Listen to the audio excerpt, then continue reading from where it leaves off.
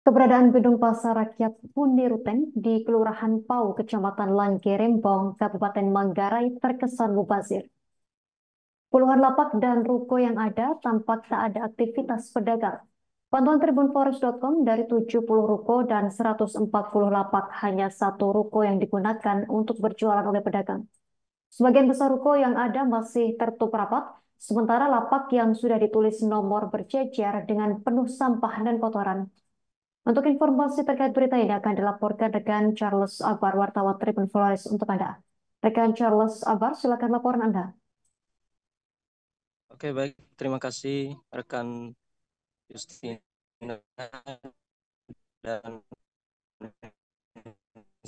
selamat siang sahabat Tribuners Anda benar sekali uh, keberadaan pasar rakyat Uniruteng yang berada di Kelurahan Pau, Kecamatan Langkerempong, Kabupaten Manggarai yang kini keberadaannya sangat uh, miris, di mana uh, gedung yang mewah yang dibangun oleh pemerintah pada uh, beberapa tahun lalu ini sampai saat ini nampak sama sekali tidak ada aktivitas yang dilakukan oleh uh, pedagang. Uh, berdasarkan pantauan kami di uh, pasar rakyat yang ada di pasar Puni ini, ini merupakan uh, pasaran sangat nyaman jika di yang berada di pasar ini sama sekali uh, tidak dimanfaatkan oleh uh, pedagang mereka beralasan uh, ada satu pedagang yang masih menggunakan salah satu ruko ini yang berada di uh, sebelah uh, barat pasar Uniruteng. Dia mengaku bahwa uh, sebenarnya uh, beberapa waktu lalu sempat ada uh, beberapa pedagang yang menempati uh, pasar ini, tapi tidak bertahan lama. Uh, mereka uh, tidak bertahan lama dengan alasan uh, bahwa uh, keberadaan pasar ini sangat sepi uh, dan tidak jarang sekali dikunjungi oleh pembeli.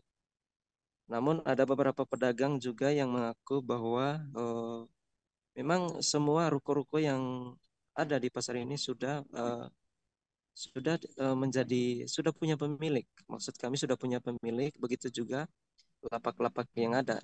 Tetapi uh, faktanya dari keberadaan ruko dan lapak ini uh, sama sekali tidak ada pedagang yang menempati. Nah, beberapa kali kami mencoba untuk uh, menghubungi pihak terkait yang di dalam hal ini pemerintah Kabupaten Manggarai pasar ini uh, belum ditempati oleh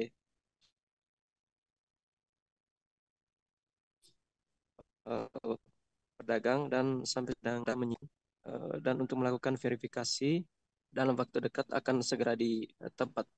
Namun uh, pernyataan dari pihak Pemda Manggarai ini sudah uh, berulang kali dikatakan sampai nam, namun sampai saat ini sama sekali belum realisasi sehingga keberadaan pasar ini sampai saat ini masih uh, kosong dan sama sekali tidak ada aktivitas. Demikian rekan Justina yang dapat kami laporkan dari Ruteng Nusa Tenggara Timur, kami kembalikan ke studio. Baik rekan Charles Abar, wartawan Tribun Flores, terima kasih atas laporan Anda. Selamat bertugas kembali. Kami tampilkan wawancara wartawan lapangan kami bersama Mikael Giong, salah satu pedagang. Kalau boleh tahu Bapak Mikael, ini kenapa teman-teman yang lain tidak tidak jualan di sini dan tidak menggunakan ruko yang ada ini? lagi alasan mereka masing-masing. Hmm, ya. Ini sudah berapa lama Om Mikel sendirian di sini jualan? 2019. Sejak 2019. Hmm. Menempati ini ya sejak 2019. Hmm. Kalau Om Mikel di sini jual ini selain menjual tas-tas yang terbuat dari bahan motif songke, apalagi aktivitasnya?